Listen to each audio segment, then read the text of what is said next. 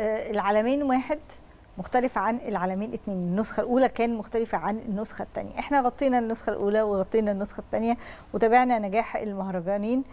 شايفين اختلاف كان كبير في النسخة الثانية عن النسخة الأولى.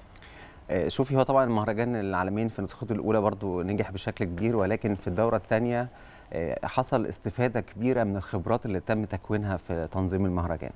آه، الدورة الثانية بتختلف بإن هي أكثر تنوعا. يعني المهرجان العالمين السنة دي آه، كان تحت مظلته ست مهرجانات مختلفة. مم. ما بين مهرجان نبتة للاطفال ما بين مهرجان الطعام ما بين مهرجان الترفيه ما بين مهرجان الرياضة ما بين مهرجان ال- ال- المسرح. فالتنوع الشديد ده خلى آه، في فرايتي متاح لل يعني داخل الأسرة الواحدة. يعني الآباء والأمهات اللي بيحبوا الأغاني الطربية هيلاقي آه، مهرجان المس- ال- ال- الموسيقى والغناء بيقدم لهم آه، زي ما قلت لحضرتك كده كاظم الساهر مجد الرومي وغيرهم. الشباب ال- اللي هم الاصغر شوية هيلاقي آه، عمرو دياب هيلاقي تامر حسني هيلاقي حمزة نمرة. حتى الأجيال الجديدة اللي هي ممكن نقول عليهم جيل المراهقين هيلاقي ويجز هيلاقي كايروكي مسار إجباري وغيرهم.